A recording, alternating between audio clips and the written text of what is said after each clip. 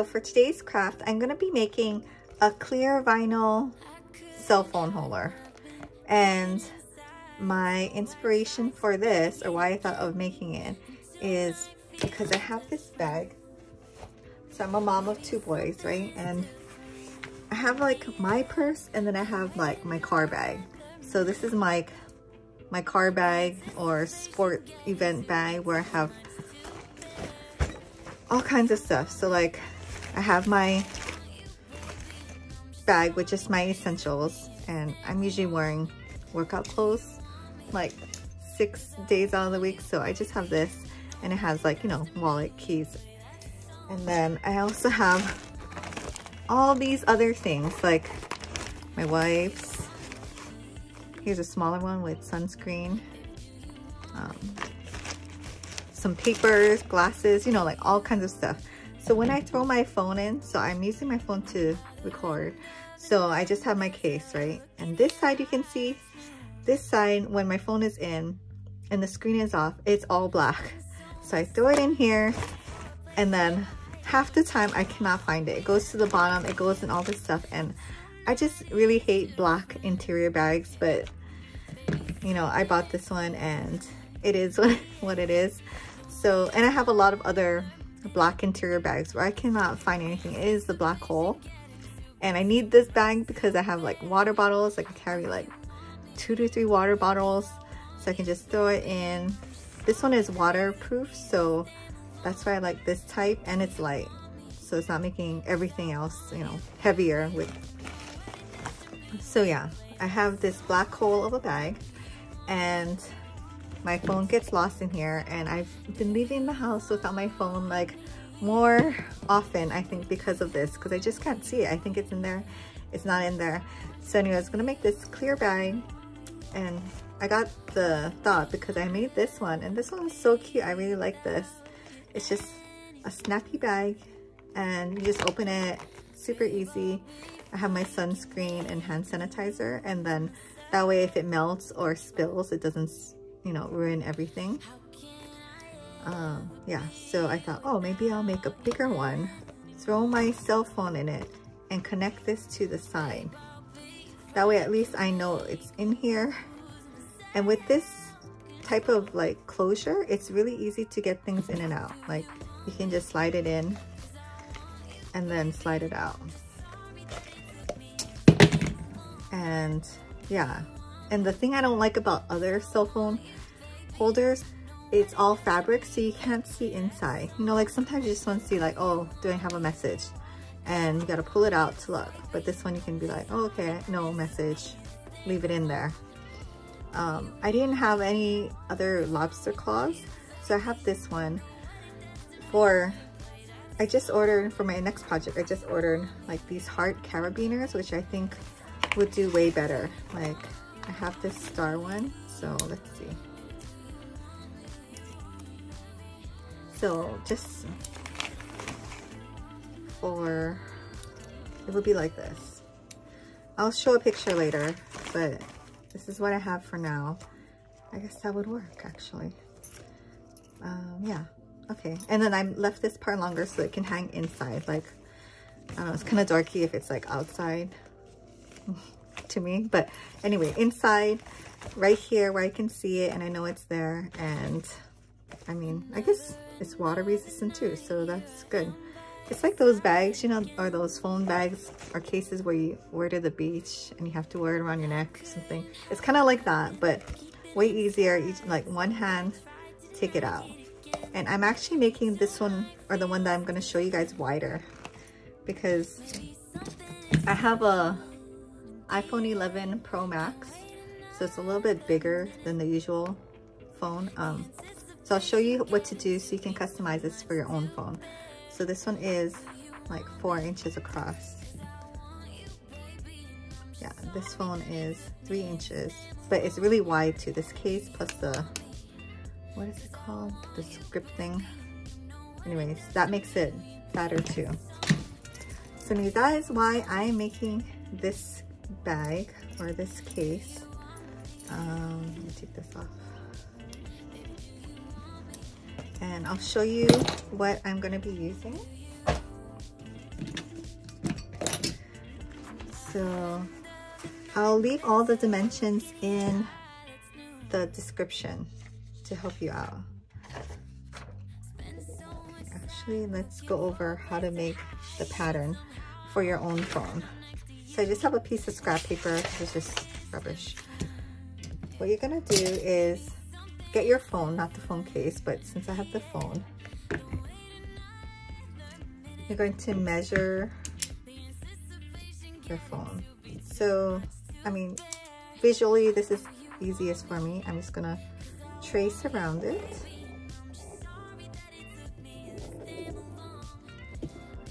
And then I'm going to add three quarters of an inch to each side. So it's the So three quarters of an inch.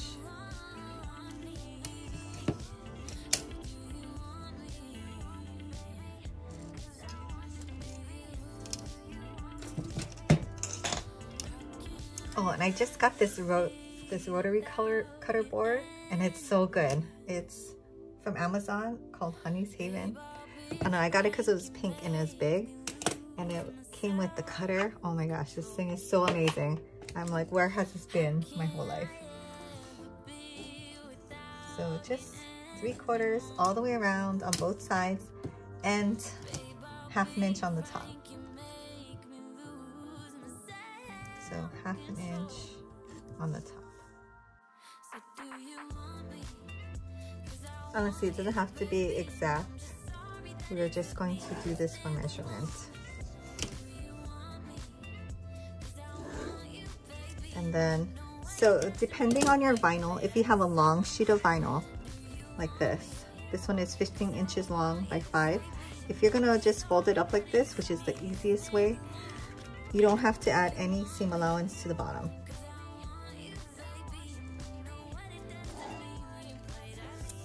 So that's how you get your measurement. And for me, mine's was five by seven, let's call it seven and a half. So 15. So I'm gonna cut a five by 15 inch piece of vinyl. And this is a thick vinyl. I get this from like the hardware store like Home Depot or Walmart has it. It's also for table covers, you know, like when you put the clear vinyl over the table, like for picnics, I guess. I'm not sure, but it came like this. So this is the orange one. It comes in a huge roll and you have to get them to cut it for you. Uh, it's just a vinyl and I've used, there's one that has this red printing on this. I like that one, that one's thick, but it's not as clear. So this orange one is nice and clear. I wish it had like some kind of gauge or something, but I couldn't find it anywhere. So it's just the orange one. Okay, so you just write that down. So you're gonna have a piece of vinyl 5 by 15. Okay, so for my fabric, this is not very organized, but you're going to do uh, two pieces of a three and a half high by whatever your width is for this right here. So for me, it's five for the width. Two pieces of that. And then you're gonna need one piece of a three inch by three inch square. And then for your handle, one piece of, I did a five and a half by two inch piece. This can totally be, this is for like a piece this size. But if you're gonna just do a small one, like a small D-ring or something, you definitely can cut it down. I also only had this one inch lobster claw, so that's why I made it wider. But you can definitely make it smaller. You can actually use ribbon, whatever you want. So this is like totally up to you, this one. Okay, and then so you also need some tape measure. So to get that snappiness for the bag, this is from Tape Measure. And it's like in there, you know, like those slap bracelets, it's the exact same thing. But this one is nice and like thin. I think it's like three quarters of an inch wide. Whereas the snap slap braces, you can't use that. Well, you can, I guess, but it's wider, right? It's like about an inch or inch and a half. So I just had this old tape measure. I cut it. And then, so you want it to be at least half an inch shorter than your width. Like this is the magic number right here, five. So you would need a piece that is four and a half inches or less. I like to go a little bit less because you don't want to sew over this. So I'm just giving myself a little bit of space. So tape measure. Four, four and a quarter inch. Two pieces. I will leave this all in the description. Sorry it's so messy. Okay, so I already measured that off. I have, I marked it off with a Sharpie. So you're gonna just cut it.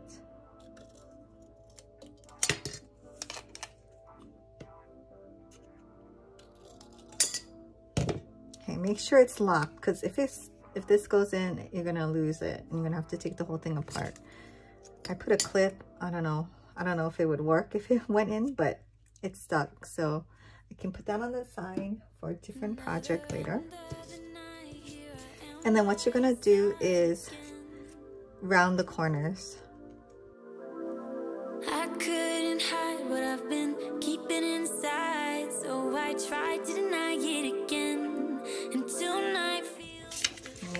Throw these away, they're kind of sharp. Okay, and if you want to be even more precautious, like say your material is really thin, I have this white electrical tape. Just some kind of like thick tape and something that won't show through.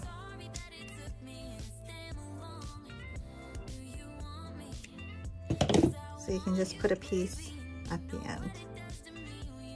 You don't want it to stick out too much, but, and it's okay if it is like this, that's fine.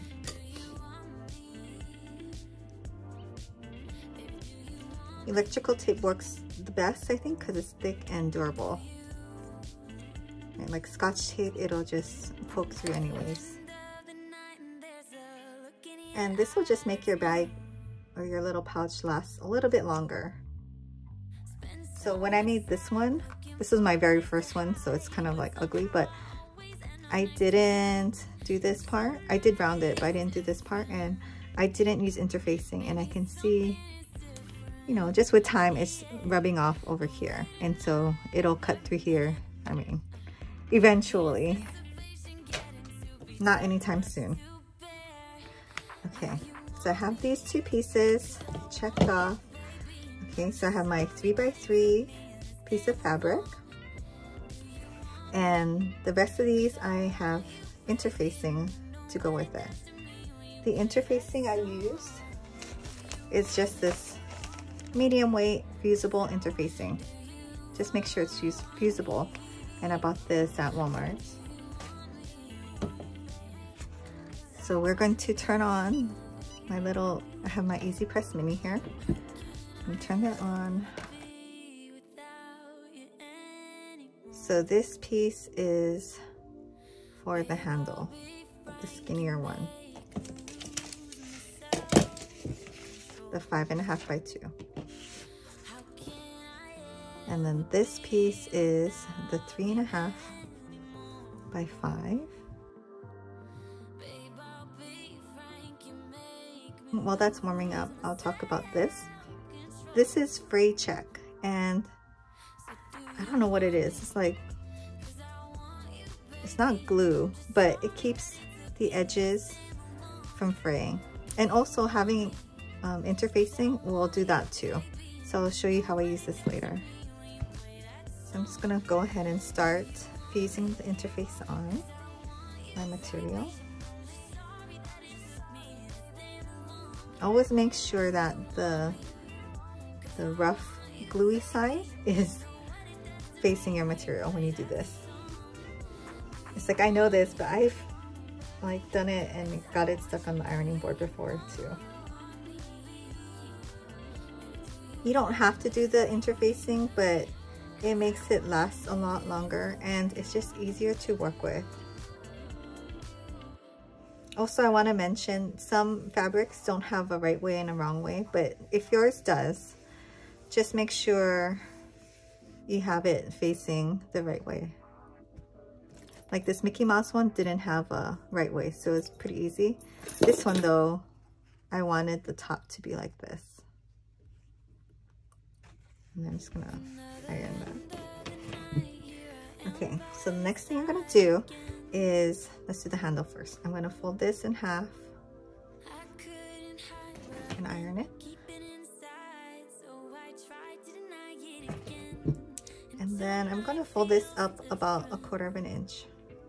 Maybe something is different in the air. Can't wait And then fold it back in half. And I like to just clip it so it stays together. And then I'm gonna pretty much do the same thing for these two pieces also. Fold it in half.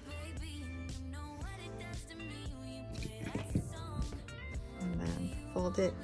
This one is all the way to the middle or just, you know, shy of the middle. You really want the seams to be even so you don't have a problem when you're sewing it.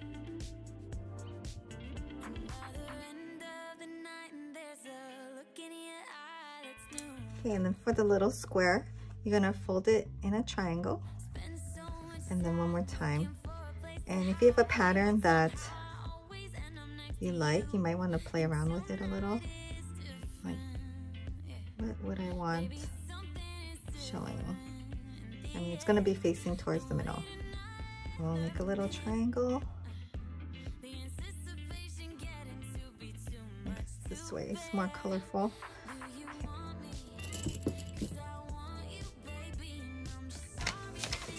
Okay, so now we have our piece of vinyl. Turn this off. So we're gonna fold it in half. Then we're gonna take one of our pieces and you have to decide which way is the right way for you. So I guess it's this way. And this is actually the back. I don't know, I, I like the tab part in the back because when I had my phone in here, this part was covering it. So I think I would rather have it this way, yeah. How can I ever be without you? So this is the back. I'm gonna just stick this part, this triangle in here and maybe like a quarter of an inch in there. And I'm just eyeballing it to the center.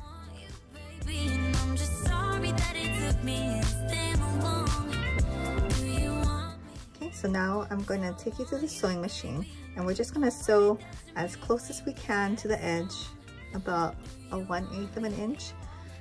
You can see right along here and here. And we're also going to top stitch this. So 1 8 of an inch here and here. Okay, and the stitch length, I'm putting it at four. Something large because you don't want to um, damage the vinyl too much. As close as you can to the edge. I'm using white thread.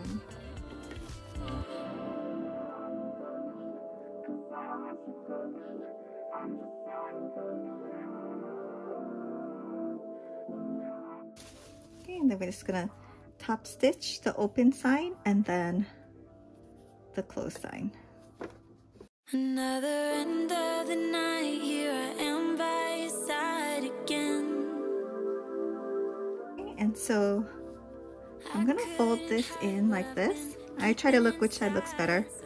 This side has a little bit of like the bottom showing, so I'm gonna fold it inwards like that.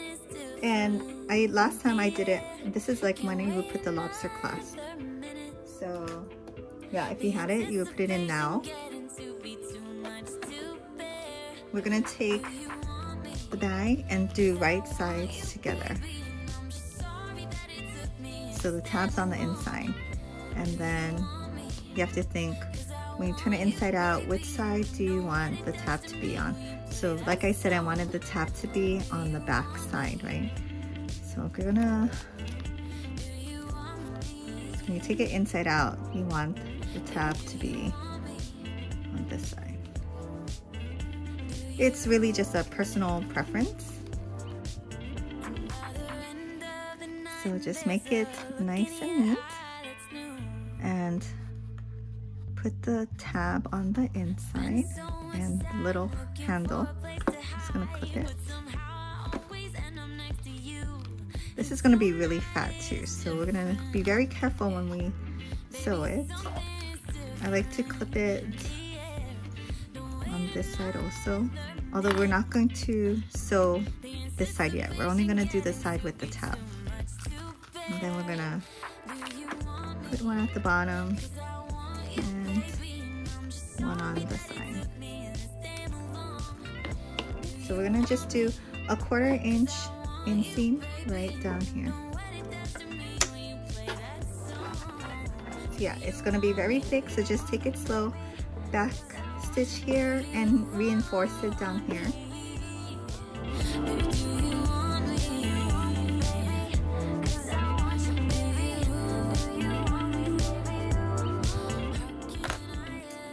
Now we're gonna take our two tape measure pieces. See, that's nicely in there. And we're gonna insert them in with the numbers facing us. And, you know, I don't know which, which way is better if you put it, because you know how the vinyl's on the inside. You can put it where the edges of it is like on the outside or I like to put it so that the edges of the plastic are actually facing the vinyl. So it's like a fabric piece, vinyl, fabric piece. I'm putting it in with the numbers facing me, fabric piece, and then vinyl. And then you have to push it all the way in. If you need like a tool or something to do that, um, like a pencil or something, that would help. Okay, and the same thing, I'm gonna turn it over. The numbers facing outwards. And I'm gonna be putting it between the fabric and the vinyl so that this rough edge is facing the vinyl.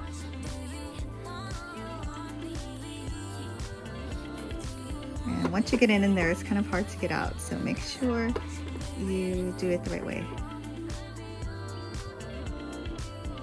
You don't want to sew over it, so it's important that it's all the way in there. Okay, and then once it's in, we're just gonna sew a quarter inch inseam all the way down. So pin it or clip it, making sure that it's nice and flush. I've been pinning it on the top just because it's a little bit easier. And then I already have a pin at the bottom and I'll put one I keep calling them pins, but they're not pins. Clips.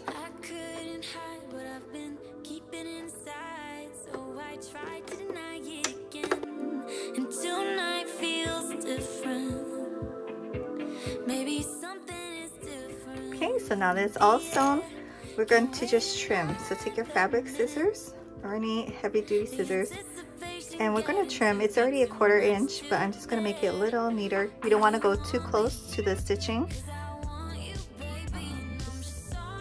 A little shy of a quarter inch. And so that the vinyl pieces are nice and neat. And then when you get to the top just trim that also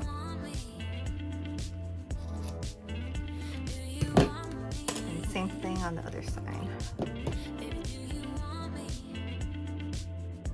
And so there's this thing called fray check. And what we're gonna do is just apply some on the nice cut edge so that it doesn't fray.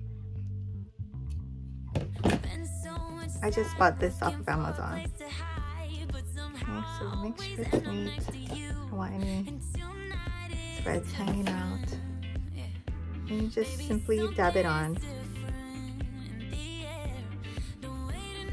Make sure to get the inside too.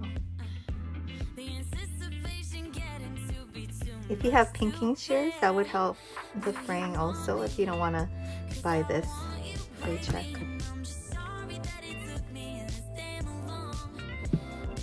Okay, and then it says to leave it to dry for 30 minutes. Think I'll just take five minutes and then do it just so I can finish up this video. I also like to kind of snip this edge.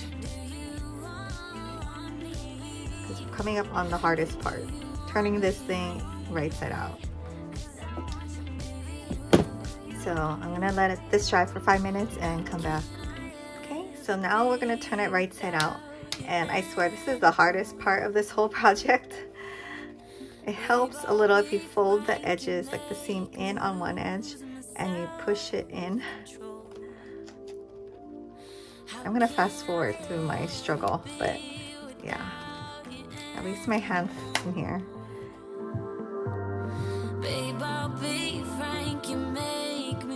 So once you start it, like the ball of vinyl, just push it through.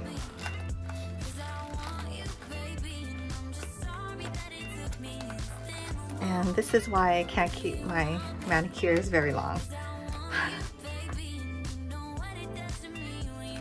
I've heard you can warm up the vinyl and it's easier, but I don't know how that doesn't stretch it out. So I haven't tried it yet. So once you get most of it in, you can start to turn over your top. Just be gentle with it.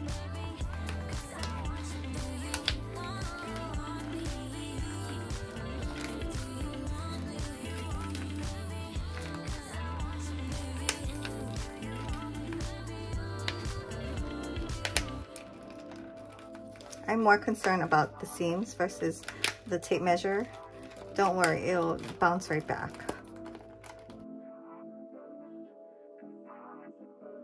So just push the corners out as good as you can. If you have one of those corner turners, that would really help. Okay, so there you go. It's all done. You just warm it up in your hands and flatten it out. And so now you have your snappy bag.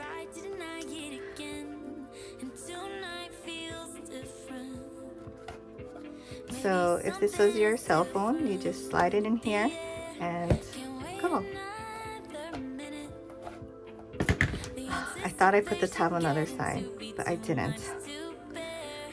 But anyways, Ideally, I wanted it to be like this. But this kind of makes sense on the right-hand side if you're right-handed. But yeah, I guess you can turn it either way. But yeah, I hope you guys like this project. Um, if you guys make one, please let me know in the comments.